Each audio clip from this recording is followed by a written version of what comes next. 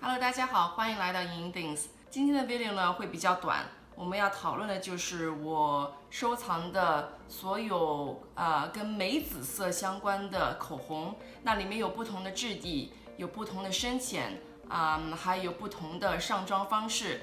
啊，我自己不小心就收藏了这么多，但我觉得玫红色是一个非常适合各种肤色、各种场合、各种季节的颜色。所以 Let's get it started。第一款唇膏是迪奥的 Reviver Balm，它这个有一种技术能让它的玫紫色跟你自然的唇色做一种化学反应，啊、使你本来的唇色更加的提亮 glowy。然后呢，它还有百分之 SPF 十的防晒系数，所以是另外的一项它的功能。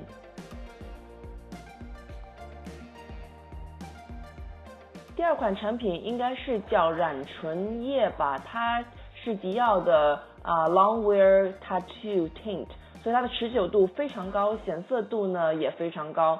那作为一个显色度、持久度非常高的唇釉来讲啊、它是非常水润的，在嘴巴上上色的时候啊、的上妆感非常的好，你不会有觉得有什么负担啊、然后呢颜色真的是非常漂亮。这款唇膏呢是 MAC A 五七 Capricious。Capricious 的定义呢，就是说琢磨不定的行为或者心情。那我觉得它定义这款颜色也是非常恰当的。它的质地呢非常 creamy，所以上色非常的容易，非常舒服在嘴巴上啊、并不是完全的 coverage 啊、能够微微透出你自然的颜色，但是你可以 build up，是非常漂亮的一款紫色。接下来是欧莱雅的一款非常有趣，介于唇釉跟 gloss 之间的一种非常有趣的质地。它的显色度非常高，但是并不是防沾染的，所以你要一点点做补妆，时间如果是非常久的话，啊、那这款颜色是三零六的 Scarlet Concerto，啊、是一个稍显浓郁的、非常有女人味的颜色。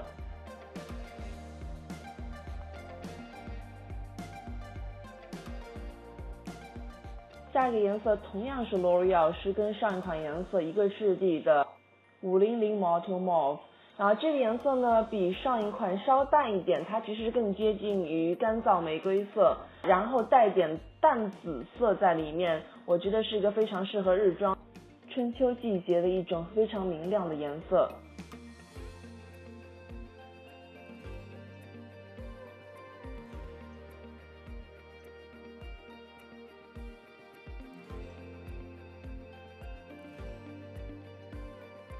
这款呢是美宝莲的 The Elixir 零五零 Caviar，所谓的鱼子酱色，那它是我所有试色里面最深的一款颜色。相较以前的唇釉呢，这款比较厚重啊，那它的显色度也非常高，闪度也非常的高，我觉得非常适合晚宴呢、或者是比较重要的场合。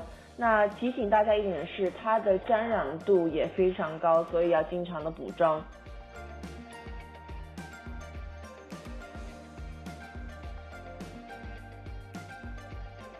最后一支唇膏呢是 Revlon 的 Matte Balm 二七零 Fiery Flamboyant。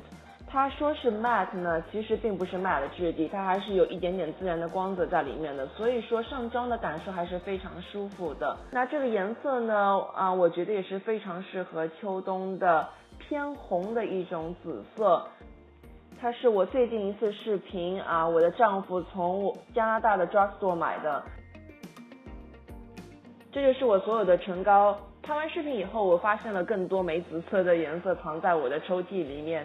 呃，但是我发现我的喜欢的质地都是属于比较水润舒适，所以我今天介绍的产品里面并没有 MAC 的唇膏。如果你喜欢这种质地呢，可以在下面留言。